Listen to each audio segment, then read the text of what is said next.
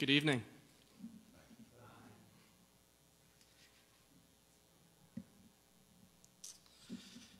Well, thanks for being here tonight, and uh, welcome to all those are joining online as well. Um, just want to start off with a with some facts. Um, according to the National Weather Service, each year the United States averages some 10,000 thunderstorms, 5,000 floods, 1,300 tornadoes, and two Atlantic hurricanes, as well as widespread droughts and fires. Weather, water, and climate events cause an average of approximately 650 deaths and $15 billion in damage per year. Responsible for some 90% of all presidentially declared disasters. About one third of the U.S. economy, some $3 trillion, is sensitive to weather and climate. As you just heard, these storms can result in massive damages and loss of life. Storms can start without warning and can certainly not easily be mitigated or halted. But what about storms that do have a purpose? And that's what we'll explore tonight. So let's pray. Dear Heavenly Father, thank you for everyone who could be here tonight, for all those listening on the live stream. Um, help us with our, our own storms in our lives. Help us with our faith, because you are the originator of faith. You're the one true, Almighty God. Bless my words tonight. Um, help me to convey and to um, share your word uh, with all those who are willing to hear it. Amen. So, the main text tonight, scripture reading, is from Mark chapter 4, verses 35 through 41.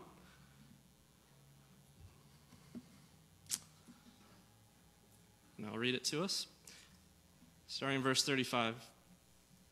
On that day, when evening had come, he said to them, Let us go to the other side. And leaving the crowd, they took him with them in the boat just as he was. And other boats were with him. And a great windstorm arose, and the waves were breaking into the boat, so that the boat was already filling. But he was in the stern, asleep on the cushion. And they woke him and said to him, Teacher, do you not care that we are perishing? And he awoke and he rebuked the wind and said to the sea, Peace, be still. And the wind ceased and there was a great calm. He said to them, Why are you so afraid? Have you still no faith? And they were filled with great fear and said to one another, Who then is this? that even the wind and the sea obey him. First point tonight there's three points. First point have faith when you experience uncertain times. The disciples did not know how they would survive this storm. In another translation, it says, they pointedly say to Jesus, Teacher, don't you care if we drown? Their minds went to the worst possible scenario. I'm sure you can relate. That meeting at work is going so poorly, I'll definitely be kicked off the project. Or the doctor called, and it must be to give me the worst possible diagnosis. Or you hear a family member has been in an accident, and your mind goes to a very dark place. These scenarios we play out in our head are based on the uncertainty that we face. We want to fill that blank, and the enemy loves to help us. So they phrase this question Teacher, do you not care that we are perishing? As a foregone, foregone conclusion, they believe they're going to die. But are they really? Were they really? After all, in verse 35, Jesus says, On that day, verse 35 says, On that day when evening had come, he said to them, Let us go across to the other side. Jesus usually knows what he's talking about. Sorry, he definitely knows what he's talking about. He was feeling relaxed enough or maybe tired enough to take a rest during this storm. He was asleep on the cushion. He was certain that they would get to the other side of the Sea of Galilee.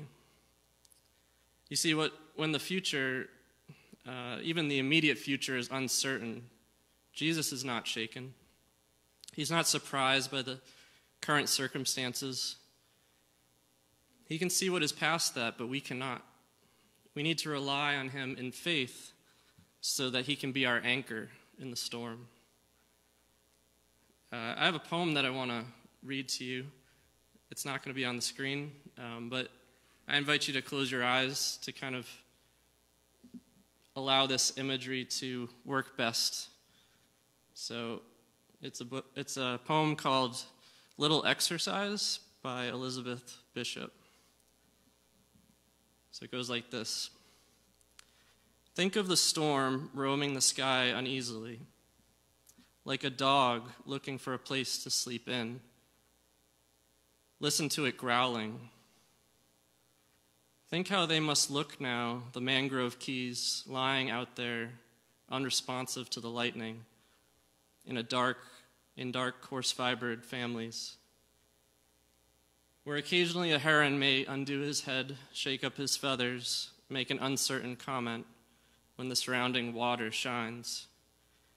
Think of the boulevard and the little palm trees all stuck in rows, suddenly revealed as fistfuls of limp fish skeletons.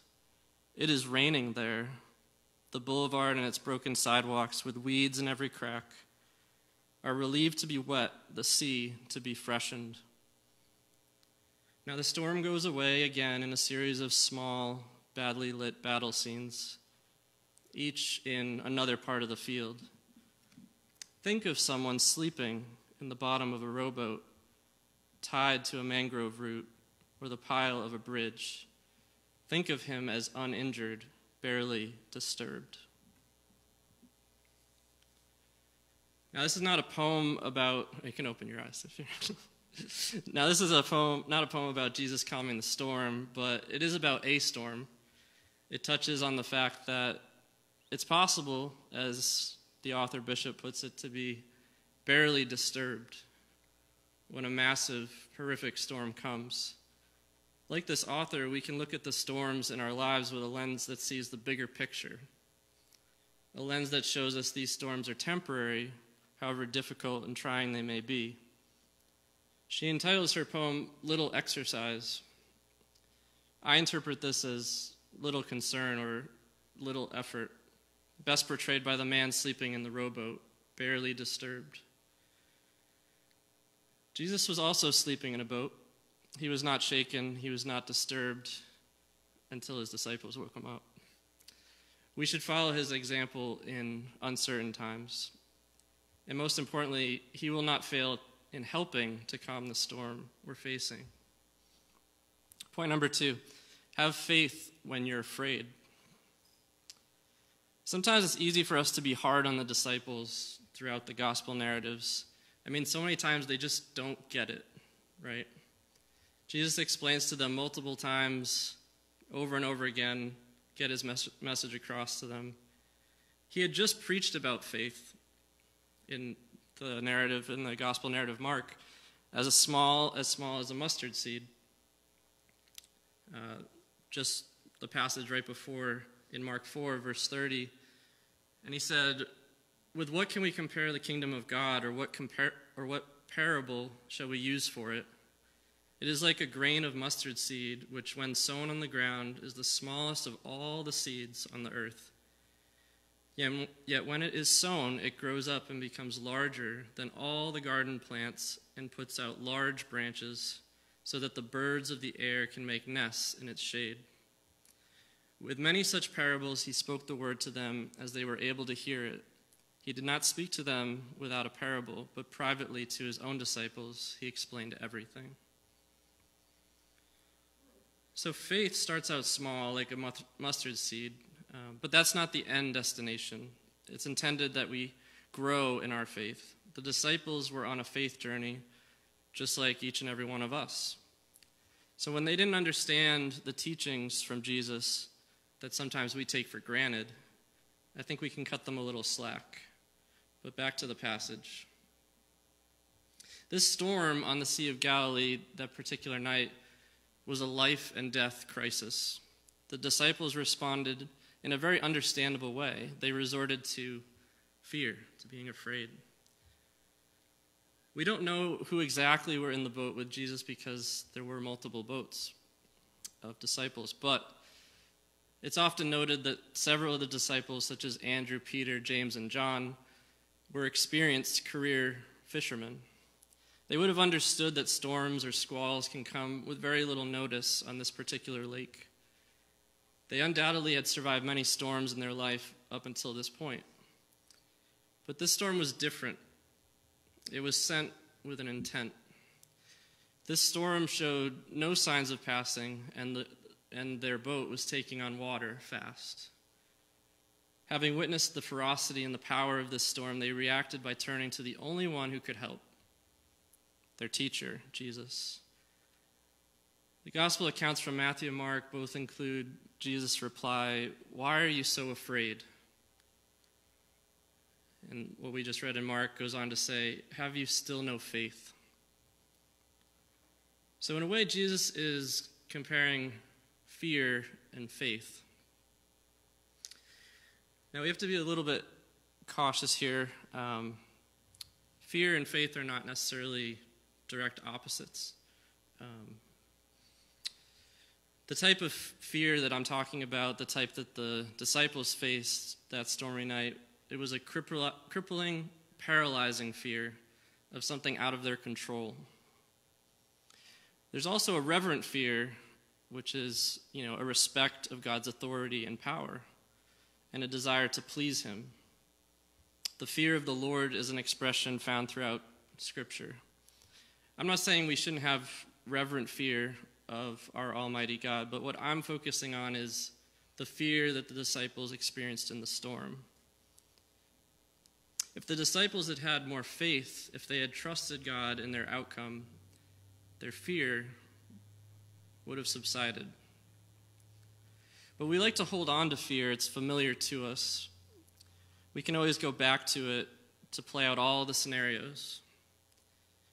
Jesus says so much in his short reply, paraphrasing If you had more faith, you wouldn't have to be so afraid. It's a conscious decision that we make to choose fear over faith.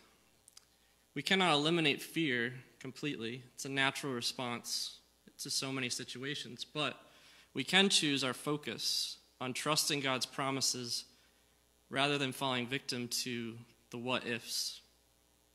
God is in control.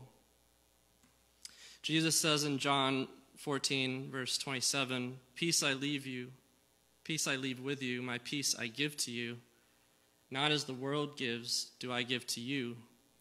Let not your hearts be troubled, neither let them be afraid.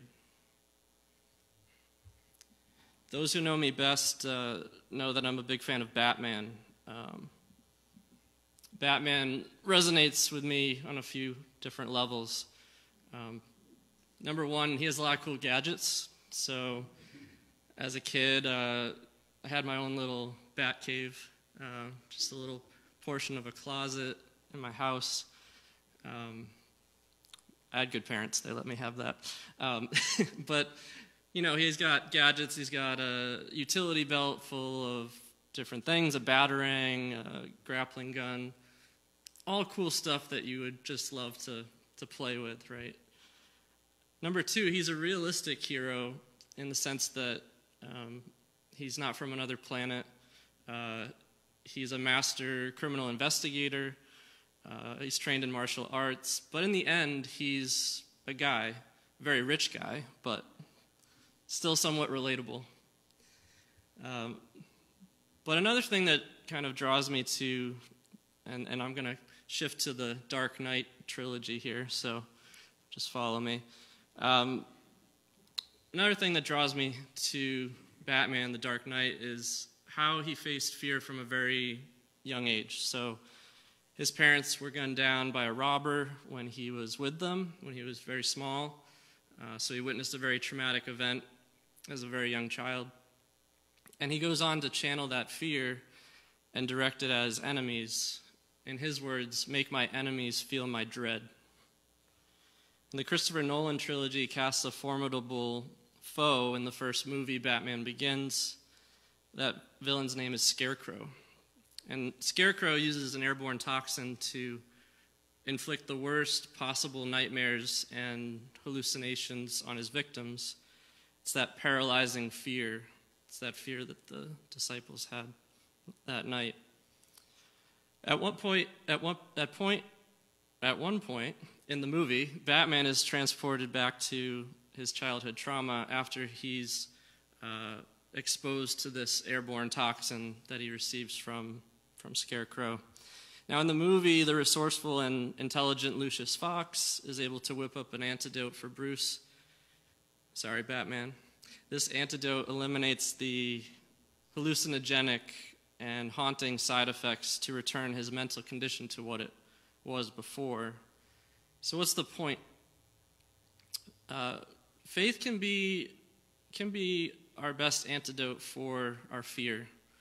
It's always accessible to us when we turn to trust God over our circumstances, over our doubts, our worries, and ugly situations. Batman may need Lucius Fox to help resolve his fear, but we need faith in Jesus to remedy ours.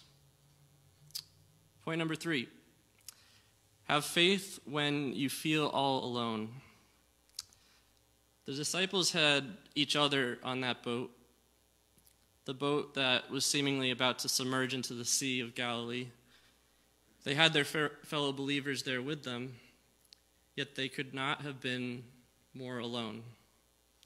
In a physical presence, sure, there were others in the boat, and they were panicking all the same. But it's one thing to be alone in the body, and it's, uh, you know, sometimes people just need alone time, or they're too peopled out. But it's quite another thing to be spiritually alone. Being spiritually alone or isolated can result to depression, hopelessness, anxiety, feelings of despair. I was recently introduced to the show Alone. It's a reality show where contestants are placed in the middle of the wilderness and forced to survive on only minimal equipment and resources. And this particular season was set in Australia, specifically the island of Tasmania. And the native Tasmanians, the Palawa, were themselves isolated from the outside world for 8,000 years until European settlers discovered them. Being all alone for survival or being all alone as a people group and isolated is challenging, to say the least. Psalm 34, verse 18 says, The Lord is near to the brokenhearted and saves the crushed in spirit. The Lord is near. Jesus was near to the disciples physically, but also through his teachings, he had the opportunity to share with them, share parables, share teachings. They had the opportunity in turn to practice their faith. The faith was inside of them the whole time, even on that boat. The faith, faith is a choice we are capable of making each day, each hour, each moment in our lives. And we can have that faith because although we may not see the physical evidence in our spirit, the Lord is near. And he is faithful to us through the storm. 2 Timothy 2:13 says, "If we are faithless, he remains faithful, for he cannot deny himself. God does not need our faith, but he deserve, but he desires for us to seek his face, and in doing so, we are reminded that we are not alone. God is near. The eye of the storm is known to be a place of somewhat eerie calm. Jesus was the eye of the storm in our passage. He demonstrated that only what is truly calm and peaceful is able to tame the worst of storms. Jesus, Prince of Peace, Lord of all, he had the authority to calm the storm merely by saying the words, Peace, Be still. No other person could do that. And rightly so, this terrified the disciples. They were beginning to understand that their rabbi was not just another good or righteous teacher. As C.S. Lewis puts it, Jesus can only be classified as three things if you truly read the Gospels. He's either A, a liar, B, a lunatic, or C, Lord. But he can't be simply a good teacher. Jesus displays his lordship to his inner circle, his friends, his disciples. His authority over nature expounded on his disciples' previous views of who he really was. Verse 41 And they were filled with great fear and said to one another, Who then is this that even the wind and the sea obey him? Do you believe? Do you believe Jesus can calm the storm inside of you? I don't know what that is, but He does. When life is uncertain, when you feel afraid, when you feel all alone, have faith. And He will be there through it all till you reach the other side. Amen.